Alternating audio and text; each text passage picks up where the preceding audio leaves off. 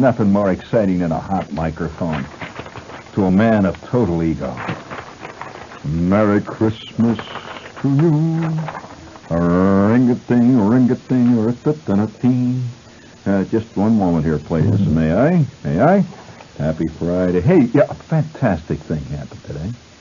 I mean, to me, you know, you, you tend to think of of, uh, of old Ma Bell as being totally, uh, totally faceless, completely uh, unapproachable, right?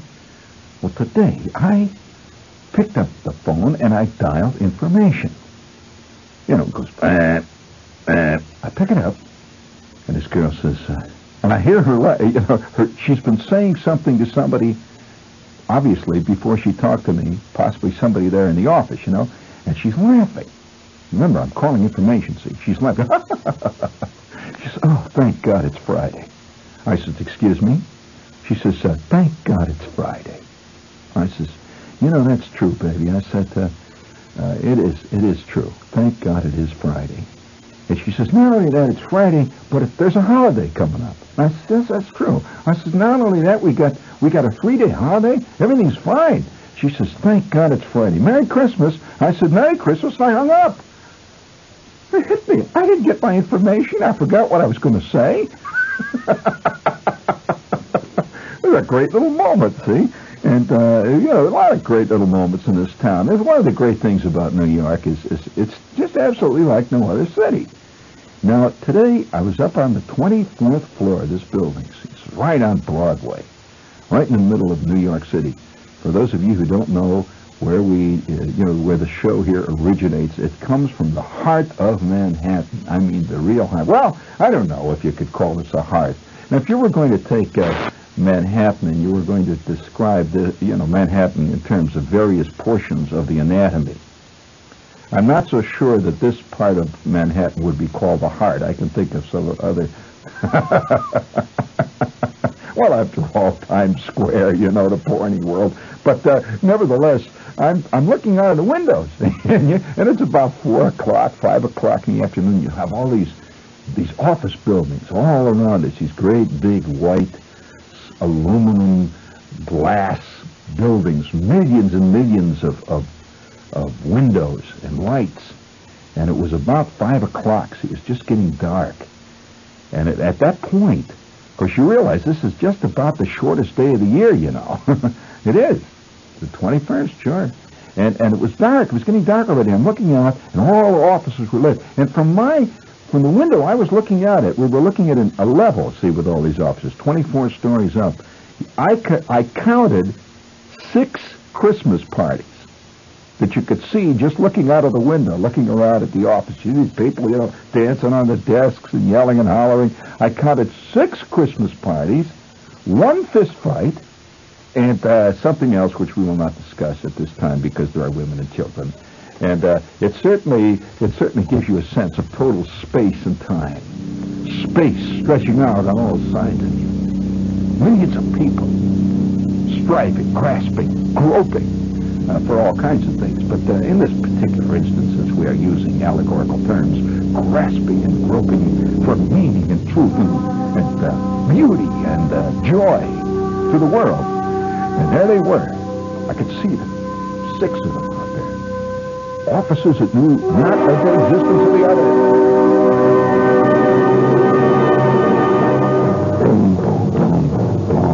Oh, I like that. Oh, let's hear it. Come on, Joe. Hit it. Watch this now. Bring it up big. Here we go. Big, big, big. Oh, listen to this. Fantastic. Do it again. Oh. Again, again, and again. Again, I say. Let's hear it. Come on, let's hear those timpanis. I want to hear that English horn. I want to hear them flutes. Hit it big, man. Here we go.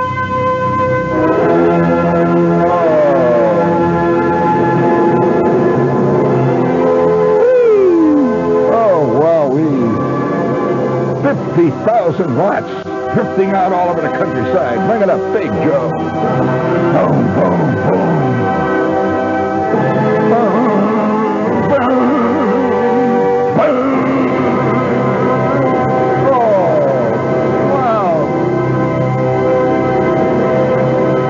Oh. Oh, yes. It sounds like the Phantom of the Opera, seated at a vast cosmic organ.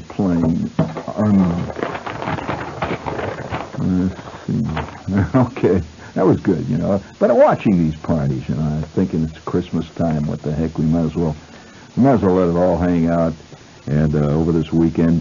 And uh, by the way, speaking of letting it all hang out, let's get a couple of these commercials done here fast, Joe. Just to whip over to the commercial department there, and let's hit them with a magic deal. The world's greatest magicians perform at the World Festival of Magic and the Occult, the weirdest show on earth. An unforgettable experience. Bring the whole family. You can hold each other's hand. The World Festival of Magic and the Occult, the weirdest show on earth. Wednesday, December 12th through Sunday, December 30th at the Felt Forum in Madison Square Garden Center. For ticket information, call 212-564-4400. Tickets also at Ticketron. Yes, very good. Gee, uh, most magical show on earth. Let's, uh, you know, uh, watching that uh, Christmas party scene going on there. I, uh, uh, is it my imagination, or have Christmas parties proliferated? Are there more Christmas parties, I mean corporate type Christmas parties, than in previous seasons? Well, I would have to say I think so here. Seems like there's one on every floor. Every department is having its own party. Which, uh, seemed, you know, uh, oh yeah, I saw, I saw, in fact, I, I saw one little party going on down in the lobby downstairs. And it was a party of guys, just guys who had been fired during the past year. And they got together. They were having uh, the dischargee, uh, the, the dischargee 42nd Street Unemployment Office party.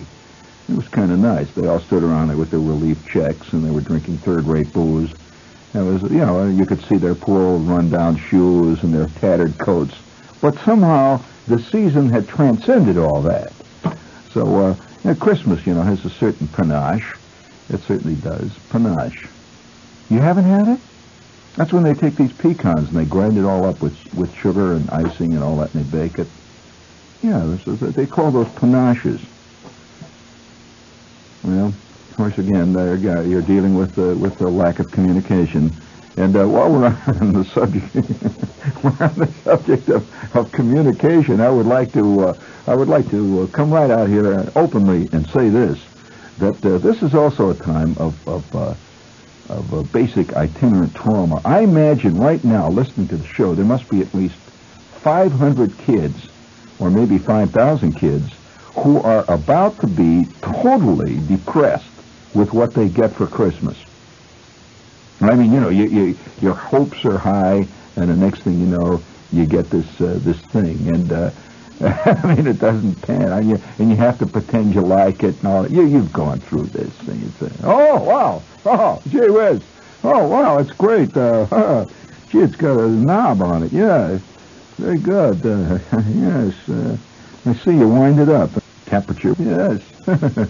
Well, one, uh, one of the great traumas of my childhood came as a result. And this is going to be a kid story, I might as well tell you. And I'm doing this as a public service, not nostalgia. Forget the nostalgia jazz. That stuff makes me, uh, makes me, uh, how can I say it, that makes me want to throw up, to quote uh, Dorothy Parker. it does. Oh, wow. You know, I go I go past those. There's thou- thousands of stores down the village where they're selling old toys, you know, and these people come in. I go past those stores so fast, it's almost like I'm going past a store that is selling cold sores. I go past very quick. Yes. You like that illusion? Pretty sickening for a Christmas party, but uh, never. Well, I've been to this. Listen, I've been to places where they sell worse than cold sores. And uh, again, I don't want to talk. I don't want to bring it up here, but uh, the, nevertheless, uh, I've had. Uh, I've been around. I've been there, friends. I've been there. We all have. I mean, oh, we have all tasted the the uh, the stream of life as it goes flowing on down to the mountains of beauty and truth. Yes, we have. We have come crawling up through the jungle of our existence, and we have sniffed at those pools. We've even sometimes drunk deeply. So, uh, nevertheless, no, no, yes, we have. We all have. Now, what I would like to do, though, tonight, I, I want you to, to settle down. class, uh, what what I would like what I would like to do tonight would be to, as a part of a public service, to give you a little allegory of what can happen uh, if if the wrong gift is laid on a kid. It can be a traumatic experience that can last for hundreds of years. Uh, and, you know, this is the kind of thing that Freud never talked about. Freud thinks that all traumas have a basic sexual background. No way. Uh, there have been many, tra- I mean, not in the 20th century. You know, he was a 19th century type. Uh, a very different world. The 20th century, many of our traumas involve materialist things, things of material natures.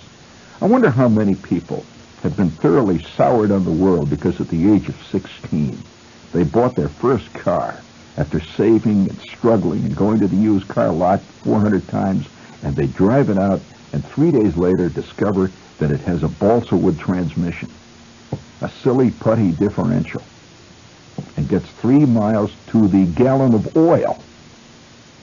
Don't even mention gas. this, in that way, lies real disillusionment especially when you turn up with a cracked block the first day that it goes below 30 degrees. And you discover that you had a cracked block right from the beginning, and what it was plugged up with was Wrigley's Doublemint gum. I actually saw a guy buy a car that had a block that was cracked that was stuffed up with Wrigley's Doublemint gum, and by the way, covered over with lamp black. No way you could see it. And I'm sorry, your experience with automobiles is somewhat limited if you have not seen that kind of chicanery pulled. And uh, I'm not here to disillusion you, nor to talk of uh, disappointment, uh, to talk of uh, despair. I'm here tonight to give you a public service, friends. A public service. would you give me an, another great blast on the horn in there? The first one, Joe, the first one we played. That's another great blast on the public service horn, please. There it is. There it is. This is this is wonderful. Bring it up big there. Of course, public service means that you're involving yourself with mankind in general. Uh, the vast swarm of the human beehive. Uh, you are giving them largesse. And so let's hear some great public service music. Yes, as, yes, that's fine. That's fantastic. As part of our vast public service programming, we bring you tonight a lesson, by God, that you won't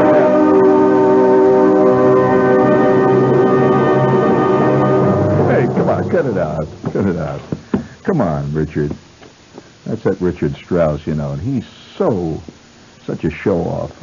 Can you imagine what kind of an ego it takes for a man to sit down to write a piece of music like that? And he says it tells what my soul feels. Oh, my God. This is WOR, friends. I knew you'd, I knew you'd be mad when I said that. This is WOR New York, right? The Big Apple. Uh, do you have an echo chamber in there for me, Joe? Let's try it. W-O-R, the Big Apple. And uh, no, we're not the Big Apple. This is the Big Apple where we are, right? The Big Taffy Apple. Uh, but uh, we do have a couple of little commercial inky poos. And for those of you who are coming into town over the weekend, uh, you know, uh, and would like to lay into some good beer and listen to some pretty good music, watch some classic old-time uh, movies. Uh, they have live Dixieland bands. They dance on the table. They yell and sing and wear straw hats. They have shrimp, chicken, and burgers and fantastic suds. You know what suds are, don't you? Right. Oh, they're wonderful. Suds are, oh, yes, yes, indeed. We're talking about the your father's mustache. Your father's mustache. And, uh, you know, it's, a, it's an old village tradition. It's been on there so long that you kind of take it for granted. But those that crowd, every time you go past it, you hear them yelling and hollering and, and uh, the band playing. You know, you've been past it, Jerry. It's at the corner of 7th Avenue and 10th Street, right in the heart of the of the village. And uh, they have ladies' night every Monday. And uh, they now one thing: if you walk, if you're going to the uh, your father's mustache, which is famous all over the country, your father's mustache at 10th and that's 10th Street and 7th Avenue. If you walk in there, now they have an admission charge. Now, if, if uh, you walk up to the guy and say, Excelsior, you fat head, he will let you in free. That's Excelsior, you fat head. Now, when you get up after he hits you, uh, he will then let you in free. And your evening has started off great. You'll have shrimp, chicken, burgers, and they're open thing, you know. It's all right. Uh, you'll find it's fine. That's the the address again is Seventh Avenue and Tenth Street, and you know Dixieland banjo players yelling and hollering, beer drinking, classic old time movies of yesteryears. All that stuff goes on there. Seventh Avenue and Tenth Street. Your father's mustache should be pronounced with two D's. Your father's mustache, much better. Now, uh, by the way, uh, we we uh, now must go into our true public service. Now, I, I, I must say that at certain times of your life, at certain ages of your life, you're more, uh, how can I say it? You're more vulnerable. Now, it varies. Vulnerable to what? The buffets of fate. You react to them. Other times, bounces off like a like BBs bouncing off a Kodiak bear. Now, why is this? No one, nobody quite knows. But one of the most, uh, well, one of the most sensitive and vulnerable periods in your life is roughly between the time you're 10 and 13. You agree with that? Yes, you are no longer a kid. This is one of the problems. You're no longer a kid. You're not really a kid type. Now, what is a kid? Well, a kid is one of those little, one of those little things you see running around that can walk right under the coffee table you know, that's what a kid is. You've seen kids. All of you have seen kids. You know what they are. Uh, you know, they drip and all that stuff, and they run around, their nose runs and all. Uh, they are, let's put it this way, latent human beings. Now, I do not accord them genuine human being status at that point. I do not accept every two-legged creature that walks around and eats McDonald hamburgers as a human being merely because he claims he's of the same species. I will not accept this. A human being must prove to me that he is a human being. You have not yet proven it, Joe. Take you a couple years.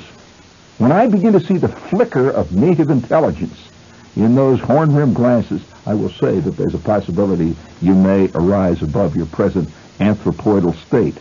However, oh, come on, don't take those glasses off. That'll do you no good. I see nothing then.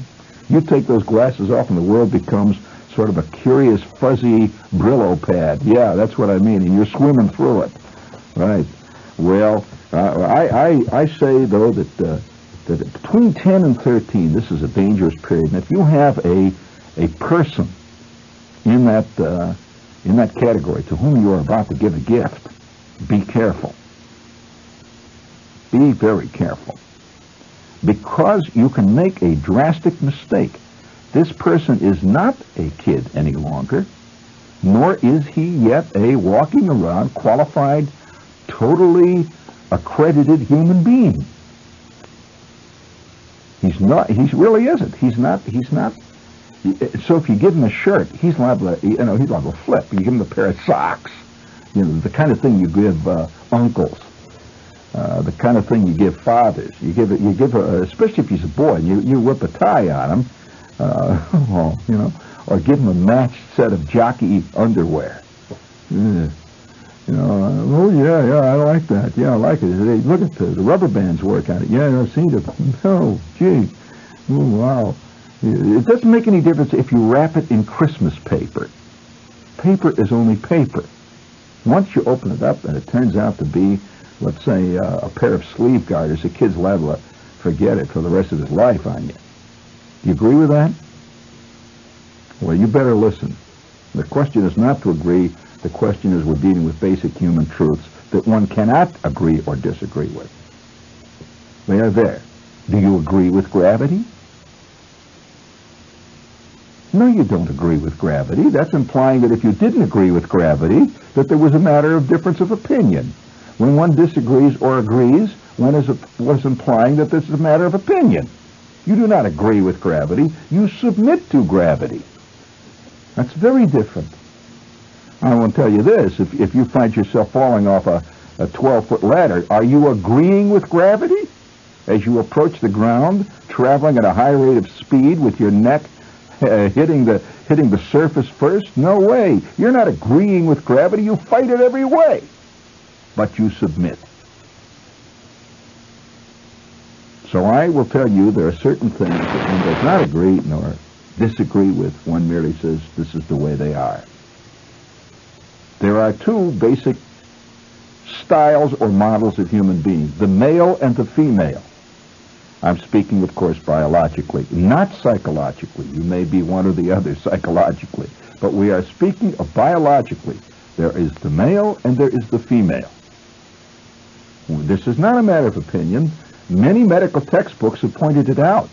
Now, we all know that medicine quite often is, uh, is in a primitive state, but they're not that primitive. Uh, they, they, they, almost every doctor I know will agree that there are males and there are females. Now, I did not say masculine and feminine. Did you notice that? I said there are males and there are females. Okay, now that's a basic fact. Now, another basic fact is that one begins at age zero, roughly, in one's travels through life. Now, as one begins, one is at the zero point. You're a kid. You're, you're, you're not even a kid yet. You're a blob. You're, you're a pablum ingesting blob. True? At age zero. Then you slowly begin to change. You switch from pablum to Rice Krispies. This is an important moment. You may even switch to Ralston or, or cream of wheat. You may even switch to Wheaties with Super G. Although uh, these days uh, Wheaties is now uh, advertising themselves, you got to grow up to eat Wheaties. He's a man now. Have you seen the commercials? He's a man now. He's ready for Wheaties. This is a whole new concept where the uh, cereal is part of the fertility and, uh, uh, let's say, the maturity rights of our time. You've broken away from uh, cocoa malt. You've broken away from Count Chocula and uh, Froot Loops, and you're ready for Wheaties. That, of course, means that you're ready to go out and chase women and the whole bit. But that's something else. We're not about to lay that on you. But at the age of 11, now that's a very important age. I was 11. Never forget it. I was 11. Now, you know, there were kids in the neighborhood like Tommy Van Hoos. Uh, these were kids, you know, little things that came up about to your knees and uh, they they hung around back under the you know under the back porch in the back and dug in the ground and and uh, fooled around like those were kids, right? That was a kid. And uh, then there were kids like across the street. Uh, there was Lawrence Stryker who had a letter with a great big H on it, 17 feet tall, played on a basketball team. Now he was a grown-up, heroic human being. To me at 11. I was suspended in between. On the one hand, Tommy Van Hoos, who continually leaked. Yes, he dripped all over the place. Uh, all possible ways he dripped. Uh, that was Tommy Van Hoos, who was an uh, absolutely despised kid. He's a kid. We'd go out and play ball. Tommy Van Hoos was always lurking in the weeds, sniveling, uh, that kind of thing. He was kid. On the other hand, Lawrence Stryker would never even bother to watch our ball games. He would go by with his with his old man's car, wearing his purple letter with the white H, with this blonde on his arm. Now that was another kid. he was no kid. That was a that was a you know that was a hero, a real hero. So along came Christmas time. Now Christmas was very important at 11. I mean, people came and gave me, you know, it gave you presents.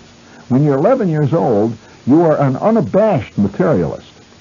You do not you do not apologize for your desire for material things. It's very rare that a kid apologizes to his own dad. Well, you see, Dad, I, I hate to admit it. Uh, you know, uh, you asked me what I wanted for Christmas. Well, uh, let's see. I'd like to start with a 10-speed Italian bike, and uh, no way is he going to apologize for that. He says this is what he wants. So I am 11, and I had this aunt, uh, my Aunt Gwen. Now, they were pretty well off my Aunt Gwen, she had this husband who was my Uncle Tom. You have not heard me talk much about my Uncle Tom. He was a mysterious uncle. Uh, every family has a kind of a mysterious uncle who is who only makes an occasional ritualistic appearance, like at a wedding, uh, at a funeral, uh, at Christmas. They arrive in a car and then they de- then they depart. And uh, my uncle Tom was a large man who wore vests. Now nobody else in my, my family ever wore a vest, but he had this black vest with a chain across it. Impressed me fantastically when I was a kid. Had his gold chain, and hanging on a chain was a large tooth.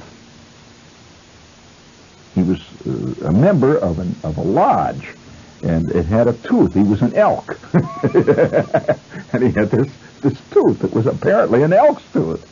And it was a really biggie. And uh, so he was a very official uncle, and he was reputedly a bootlegger. Well, we never really talked much about that.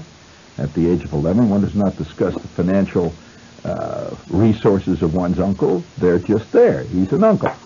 So my Uncle Tom came over every Christmas and my Aunt Gwen, and they would have these great gifts for me and my kid brother. You got it. Because they had a little dough, see, and they, they would really great gifts they'd come out with. Up to that point.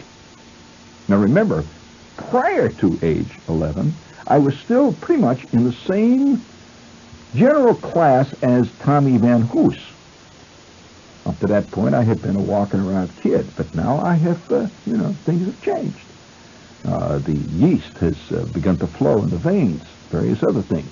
My uh, my uh, brains are beginning to solidify, and, and vague ideas are beginning to come through.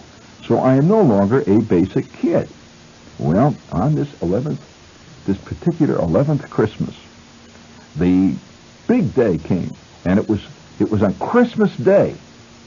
Now, all of our Christmas gifts in our family were always exchanged on Christmas Eve. You know, two different types of, of family. We had the Christmas Eve thing. And yeah, we never had the, the Christmas Day was not our bag. Christmas Day was the day we went over to see my grandmother.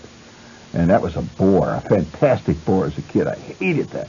But we'd all go to see my grandmother, and, and uh, we'd sit around, and, and uh, they would have uh, turkey and all that kind of stuff, and and uh, had to wear this uh, this uh, you know my mother put me in a, a shirt and all that jazz. Well, but Christmas Eve was something else. Christmas Eve was when all the gifts were around. Well, always Christmas morning, my Aunt Gwen and my Uncle Tom would arrive in the car. Well, they did. They arrived this Christmas, it's 11. Now, this is the point of total trauma. I just want to warn you, this story is sickening. It is sickening. And I don't want anybody to write in and say, Shepherd, it was a sickening story. Why are you telling that to, to kids and, and, and ladies listening on Christmas? Well, it's a warning because a lot of you are going to go out and get Christmas gifts over this weekend, and I want to warn you. If you got a kid that's between 11, 10, and 13, be careful. You're liable to give that kid a scar, and he's liable to hate you for the rest of his life. And you won't know it, because he'll fake it. He will fake it. And so Christmas morning was cold. Temperature was maybe five below zero, as it often is in northern Indiana at this time of the year. The wind was howling down from Canada, coming down the Lake Michigan there like a gigantic force of nature, which it was, bringing with it nothing but Stygian, cold, tremendously icy air was whistling down. And everything for miles around was covered with long, heavy icicles. In fact, we had icicles that would go from the roof of this house we lived in all the way to the ground sometimes, these great big wide babies. And, oh, and sometimes northern Indiana being what it was, those icicles would not melt until late July. The wind is roaring down, and all excited. See, it's uh, it's Christmas morning, and all the papers all over the floor. You know, with the, the, Christmas presents of the night before, and all of our stuff is laying out. We, the loot that we had gotten, me and my kid brother whooping it up and yelling and hollering, and the Christmas tree is smelling like a Christmas tree smells. And at 10 o'clock that morning, that afternoon, we were going to my grandmother's house.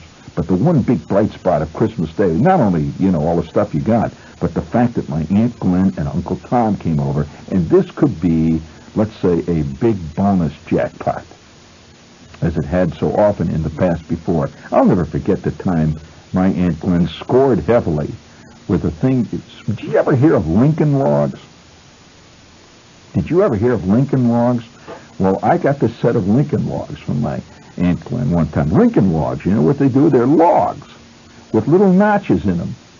And you put them together. You just put them together. You make all kinds of things. You can make forts. You can make houses. It's a, and, I, and I must have been about eight. That was a fantastic gift. It was really great. Another time, she laid on me a fantastic gift, which even at this time, I wish I had it. It, it, it, it would it would bring a little uh, little of the roses in my cheeks in the office one one day. You know, when the salesman had been particularly obnoxious that day, I'd like to sit there and put together my erector set again, and uh, you know, just sit there and, and, and plunge into the world of the erector set. Did you ever have one? Well, my Aunt Glen gave me an erector set, the Model 14 erector set, which had in it an electric motor.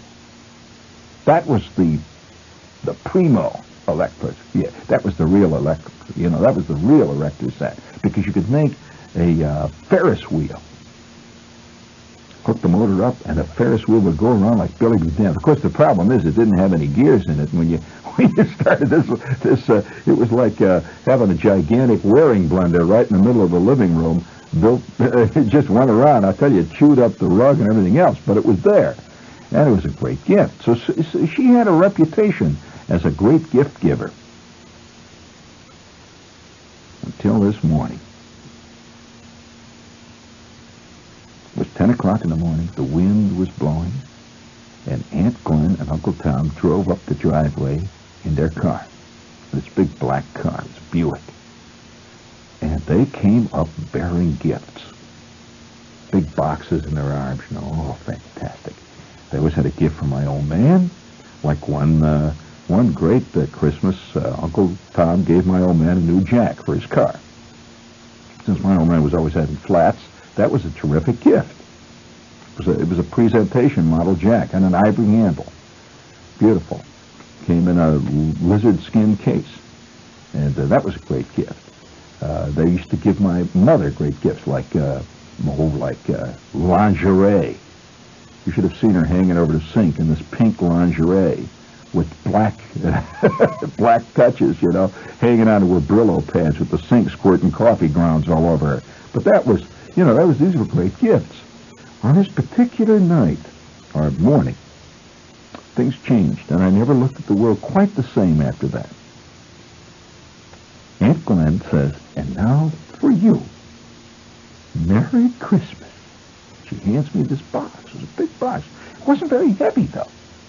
And she turns to my kid brother and says, and for you, Randy, here's your gift. She hands him a box. His box was not much bigger than mine, but uh, it was very heavy. So we both says, oh, thanks. She says, are you going to open it? Silly question. Are we going to open? So my kid brother, immediately, he's got these claws. He, he, he, being a couple of years younger than I was, you see, he was basically uncivilized. He just grabs his box, ah, he tears it open, you know, the paper flies. He got this magnificent low-winged airplane. A beautiful airplane. I wish I had it now. Man, if I had that airplane, uh, it would be a great collector's item. It was a beautiful low-winged airplane, and it had pontoons. It was a seaplane. And not only was it a seaplane, but the thing was beautifully made. I, I, it's, it's a great piece of. Oh, I looked at it. Oh, great! And and and it had a you could wind it up. It was made out of very light metal, and you could wind it up, and this thing would go over the water. The propeller would go, and it was seaplane, little pontoons. Oh, what a great gift! And my brother says, "Wow, we!" You know, and he grabs this thing and he runs in. He starts putting uh, putting uh, water in the in the bathtub, and for months after that he would sit there with this pontooned airplane going around him in his bathtub, you know. It's always taxiing constantly around him. this thing is about ready to take off. He would not take a bath unless his airplane was in the tub with him. And he could wind it up and let it go. And it would just go around. The thing just went, oh, what a beautiful little thing. Well, I figured, well, if my kid brother is getting such a fantastic thing as a an airplane that goes, and you put it in a bathtub and it taxis and everything else, it's a real airplane. I was really into my airplane phase at that time. Can you imagine what kind of a gift I'm going to get? So, I said, gee, that's, that's, uh, that's, thank you, Aunt Glinda, Uncle Tom. Uh, okay, I'll open it up. And, uh, hey, Ma, Aunt Glinda, your gift. Well, I take the paper off. I should have known. I should have known. The paper should have tipped me off. Should have tipped me off right there. The paper was white with red candy canes all over it. Be careful of anybody who gives you a gift that has candy canes printed on the paper. That's just a, just a suggestion, because I'm a great Christmas gift uh, aficionado of the style and the school of various gifts. So I carefully take this paper off, and it was a box, a Christmas-type box that was about, oh, I would say a foot wide, it was about six, seven inches deep, and about four or five inches high. I said, gee, uh, well, I wonder what's inside. And she says, oh, you're going to be surprised. It's something I know you're going to, you're going to really enjoy having. My Uncle Tom just stands over there looking official, and he's talking to the old man, and they're drinking Jim Beam, which is what Christmas was about to, to the grown-up type men. You know, they're sitting there drinking this Jim Beam, ho, ho, ho. Well, I take the top of the box off, and there is nothing but tissue paper all covering this thing up. Tissue paper. I still see that tissue paper because what a trauma it brought on. What a trauma it brought on. That tissue paper. And some nights at 3, 4 o'clock in the morning, I look up at the ceiling.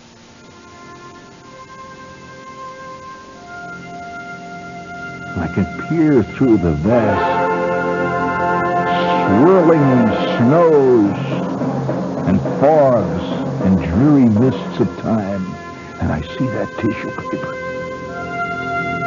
That accursed white tissue paper that hid that obscenity.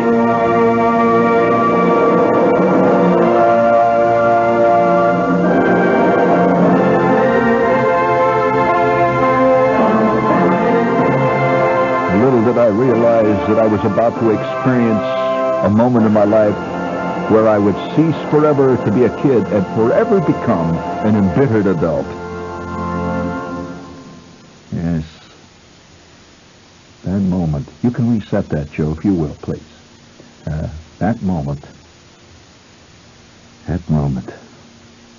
White tissue paper, and I took the corner of it and I pulled it back, and at first it looked, I couldn't believe, you know, uh, what, what the hell?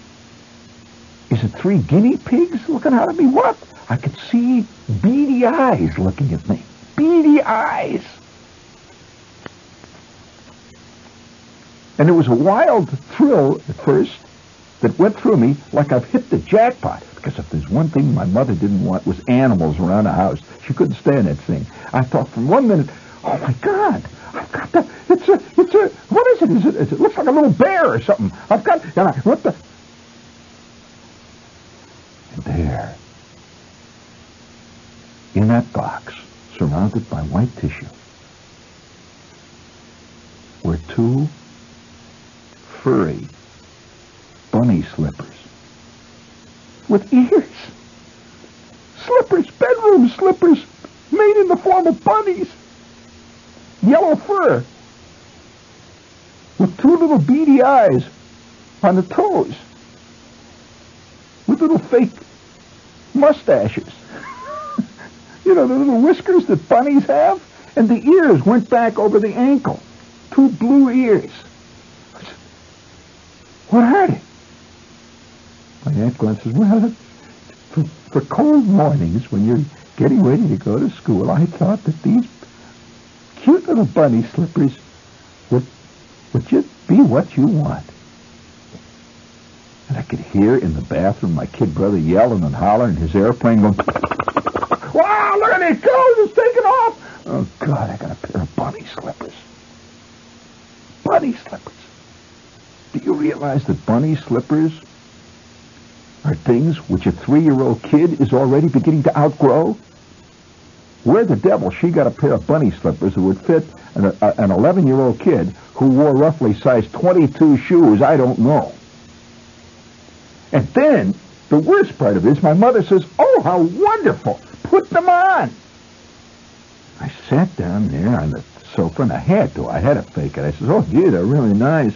Yeah, bunny slippers, boy. oh, they're really great. Uh, yeah, bunny slippers. My mother says, put them on, put them on. I said, yeah, well, uh, I had to do it. I put on these two bunny slippers, and I walked around wearing these two bunnies on my feet. Do you realize how humiliating this is? Bunnies on my feet. Well, I went into the bathroom, and my kid brother saw these two bunnies coming in. He said, what are you? He figured there were two small animals coming in. And I said, no, slippers. And we played with the airplane for half an hour. I was bugged. I wanted to steal it from him. You ever had your brother had something you wanted to... No way. He didn't let that... Do you know that he still owns that airplane? My brother still owns that airplane. He will not even still to this day let me get near it. Well, every time company came over, for at least six months, my mother made me put on the bunny slippers. My Aunt Glen would come and visit us every couple of Sundays. She'd say, don't, now don't forget, when your Aunt Glen comes, put on the bunny slippers. I'd oh, no, bunny slippers. And I'll never forget the time that Lawrence Stryker, the magnificent human being across the street who had the purple letter with the white H, saw me in my bunny slippers. The word got around the neighborhood. Shepherd wears bunny slippers. He's a secret bunny slipper wearer. And I'll tell you, it took me years to outgrow that, and only at the point when I started to grow large shoulders and started to run over small yelling kids did the bunny slipper legend vaguely die, but it's never completely left my soul. So be careful. If you have a male-type kid between the ages of 10 and 13, be careful what you give them. Don't lay any that cutesy-poo stuff on him. If you give him a copy, a leather-bound copy of Raggedy Ann and Raggedy Andy and the camel with the wrinkled knees, you've lost a friend for life. And in fact, you may well have made a dangerous enemy. So just something as a part of our public service programming, you ought to know that there are some pitfalls to Christmas that uh, Oh, incidentally, I just want to tell you that you, just don't outgrow these things. Two years ago, I'm talking to my mother Christmas on a telephone. She says, oh, say, uh, by the way, Jeannie, I says, yes, Mom. She says, say, you'll never guess what I ran across in your old room. She said, I'm going to send them to you. I got, I ran across your old bunny slippers. You remember I used to love them? Yeah, Ma. You know, you carried it. Yeah, Ma. Like for years, I carried out a, a myth with my mother that I actually loved peanut butter and jelly sandwiches. Because she thought I did. I hated them. What I dug was Twinkies and Yoo-Hoo. And Fudgsicles, the hell with peanut butter and jelly. So be careful, peoples. Be careful.